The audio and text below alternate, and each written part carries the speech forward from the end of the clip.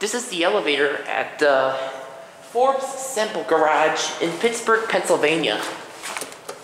Otis Flexton, modernized by ThyssenKrupp. Ooh, nice motor. Uh, this is the red level. Looks like I got one. It's this one.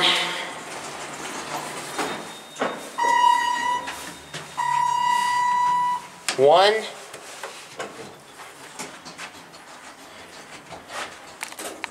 Here we go. ThyssenKrupp. Forbes Semple Garage. These are loud. First floor. Eight.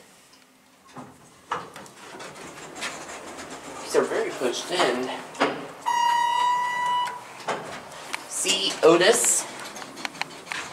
Here we go. Installed in the 70s.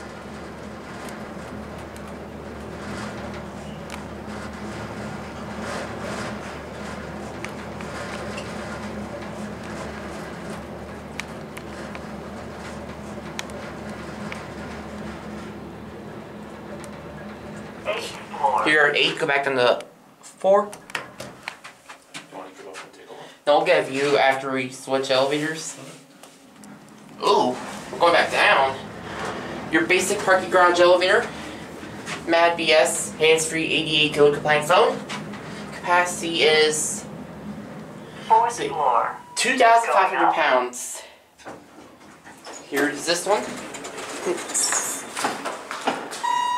This one's good. We'll let this one leave. Now I'll try get this one.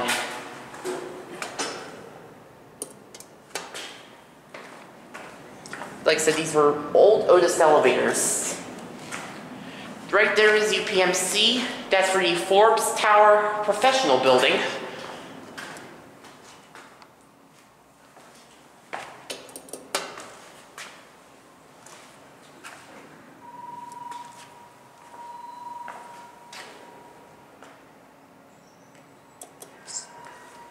Let's try hitting the up button and see if we this makes any difference. I think this one's broken.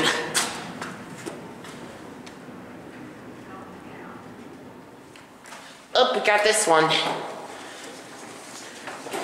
Otis. One. Here we go. Smells like cigarettes in here. Typical older Otis elevator motors. First floor. Let's let the door open first. Eight.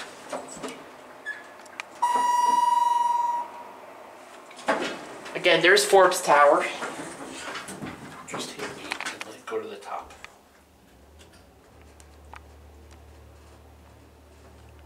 No smoking. That's a giant logo. Giant no smoking logo up there. I've only seen that in the Wood Allies and this garage.